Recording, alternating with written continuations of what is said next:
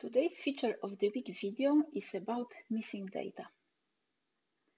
Nonlinear mixed effects methods are applied to clinical data to better understand PK/PD characteristics.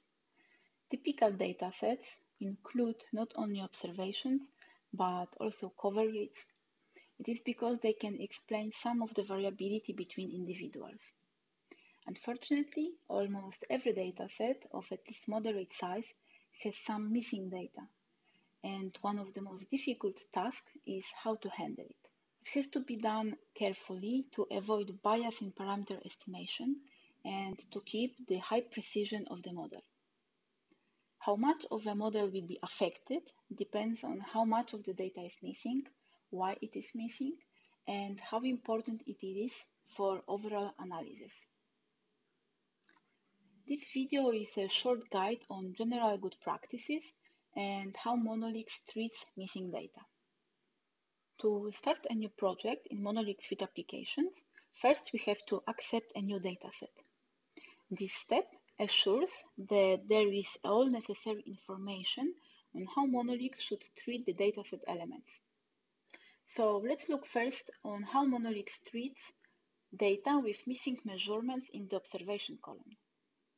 In order to accept the data, I can define a new column tagged as ignored observation. Here it has a header called MDV. If there is a number 1 in this column, then Monolix knows to ignore an observation in this line. If I don't use this column, then Monolix will ignore all observations having a dot in place of a measurement. But in this case, I will receive a warning message saying that some observations are going to be ignored. Why? Because I might not be aware that some data is missing. Next are regressors. In Monolix, it is allowed to have missing values, but not at the first time point in a dataset. This value is necessary because Monolix uses last carried forward method for interpolation. Here on the left, a missing regressor value is at t equal to 0 which is the first time point. So Monolix gives an error when I accept the dataset. On the right, a missing value is later in time at t equal 1.5 and the dataset is accepted. The situation is more complicated with covariates.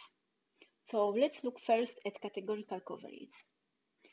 In this case, if covariate information is missing for some subjects, Monolix creates a default category called NA from not available and a dataset can be accepted. But you will be informed with a warning message because this action creates artificial category and it can have consequences on parameter estimation. I want to underline here that the dataset is accepted and the user can do the modeling, but it is the user's responsibility to decide how this new category is handled when the covariate is included in the statistical model. In this example, the category 0 is the reference category, and this is why it is not in the formula for the individual parameter, and 1 is the second observed category. The category NA is not observed in the dataset, but is treated as a third category, which means that a dedicated covariate parameter beta will be estimated. If there are not many individuals with missing values, what you can do is to group this new category with one of the observed groups by transforming the covariate. But it means that a specific value is imputed to all missing data, and it's obvious that it has to be done very carefully. So treating missing information of categorical covariates in Monolix is a type of a workaround. It might be used for a quick study, but it is not recommended for final analysis. In contrast, when missing information concerns continuous covariates, a dataset cannot be accepted, and Monolix gives an error. Why? Because missing continuous information cannot be replaced with unrelated values. It would compromise the accuracy and predictability of a model.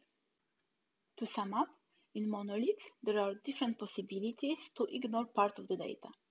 Tagging a column as ignored observations indicates Monolix which measurements in the observation column should be ignored. Ignore line, as the name suggests, tells Monolix to ignore all the information in a specific lines. And if a column is tag ignore, then the information of this column for all lines is ignored. This is in fact a default tag if a column header is not recognized by Monolix. Using these column tags, Monolix can handle missing covariates in the following way. First, I can ignore an individual with missing data. And to do that, I define a column with ones in lines that corresponds to this subject, and I tag this column as ignore line. Or, if the information carried by a covariate is less important than the observations, I can ignore this covariate, and to do it, I tag the covariate column as ignore. A hybrid approach is also possible. I can use the observations to fit the structural model by first ignoring the covariate, and then I can exclude subjects with missing covariate information with ignore line column, and I can do covariate search using remaining subjects. However, ignoring any type of data is a waste of data. So it is generally recommended to apply appropriate methods that account for missing information. And I will now present you few approaches to do this, but none of them is handled by Monolix, and they have to be carried outside of Monolix prior to the modeling. To deal with missing data, we first have to know that there are different mechanisms why some information is missing, and these different mechanisms imply different approaches how to handle it. There are three commonly recognized categories.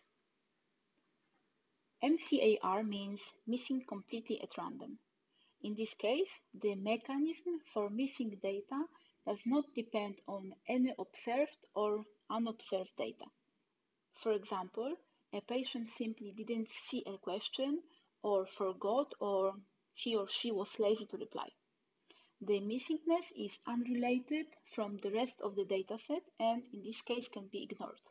MAR is for missing at random and assumes that missing data mechanism depends on observed data, but not on unobserved data.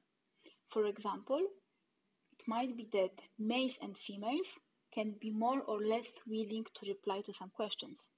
So the missing data will depend on the sex covariate, which is observed, but not on the unobserved value.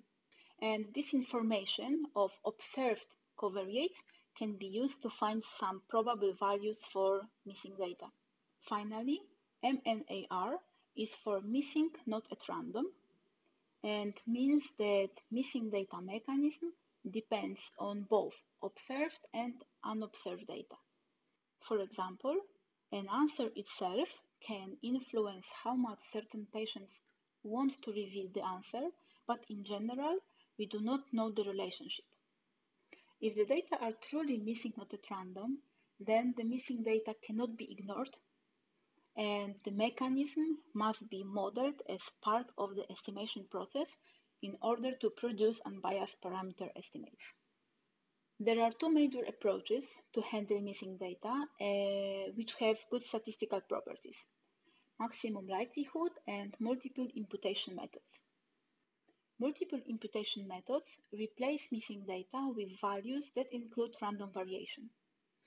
It generates several data sets, which are then analyzed and the results are combined into a single set of parameter estimates and standard errors. The advantage of methods based on maximum likelihood is that they analyze the full incomplete dataset and not only certain variables as for the imputation methods. Also, the results are deterministic, but these methods require parametric models that can be estimated by maximum the likelihood. Neither of the methods is inherently better than the other, and the literature on the advantages and applicability of these approaches is very, very large. And luckily, there are many softwares available that handle missing data efficiently. Following these links, you can find large documentation about different methods and up-to-date list of R packages dedicated to the exploration and handling missing data. Thank you for listening and stay safe.